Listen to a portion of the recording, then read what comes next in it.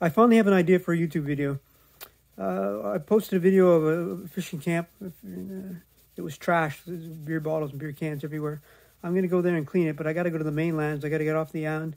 Then I got to hike about 10K to get there. So I'm going to make a big video of it. See how it goes.